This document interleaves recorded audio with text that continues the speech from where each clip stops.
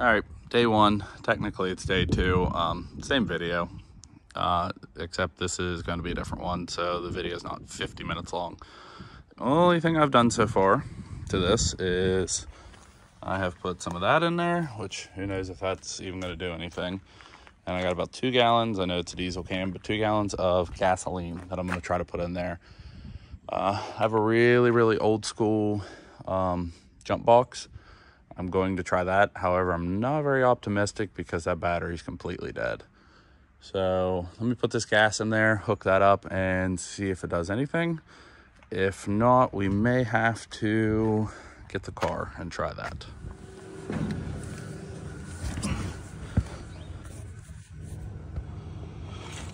All right, first attempt at seeing if this thing will even start or run.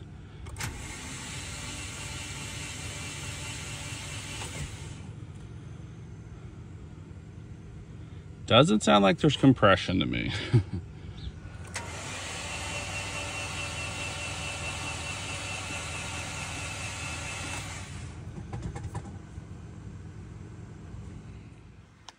so going into this, we kind of figured, um, you know, these cars, there's a couple things that happen. Either they get rod knock or usually they develop a hole in the block. So after trying to start it, I digged into it a little bit. Um, you know, I had to remove some leaves and stuff to try to see if there was maybe a visible hole because to me it sounds like there's no compression. So um, we are going to hook up a compression test to it later, but I removed the air box and both coil packs and spark plugs on this side are actually missing.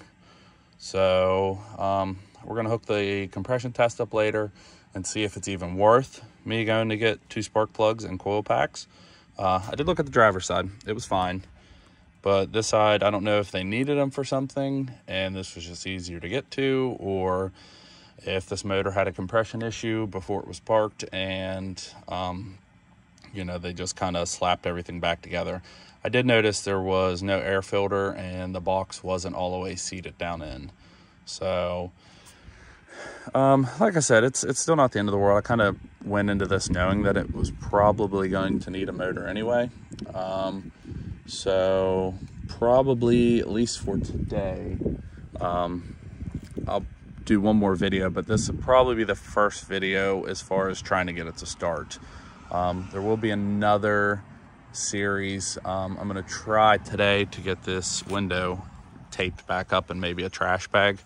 And I'm not gonna touch the inside, but I'm gonna just pressure wash the outside, maybe get some of this gunk off and see what it looks like actually cleaned up and um, see if it is worth putting money into. Like, I do really like these cars a whole lot. I think it would make a way cooler car than that is a daily.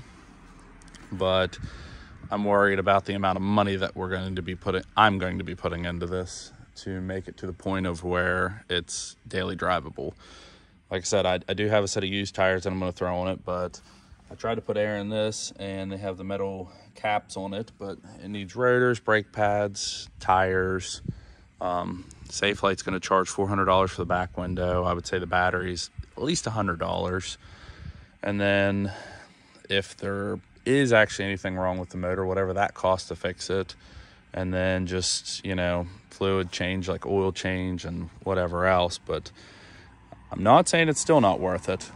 Um, like I said, the converters back in the day, I don't know what they're worth now, but the turbo converters on these were usually worth about 800 to 850. So scrap price is probably $300, but I don't want to do that. So I'm trying to avoid scrapping this. I do think it's a really cool car. I think it would make a really cool daily, and um, I think it can be fixed still. So I'm gonna try to cover up the holes so no more water and stuff gets in there, and I'll put something in turbo inlet, and then um, might actually pressure wash the engine bay off too.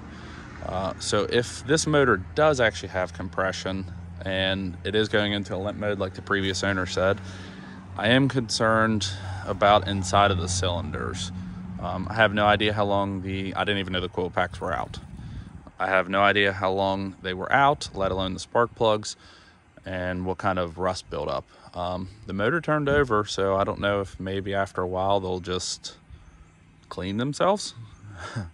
Hopefully, I don't know if that's putting this motor on borrowed time if it isn't already past its time.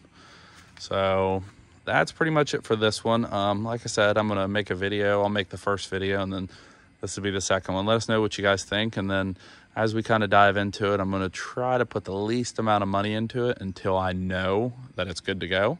And then I'll start doing other stuff like fix the headlight that's broke and tires, brakes, you know, that kind of stuff. So thanks again for watching and subscribe.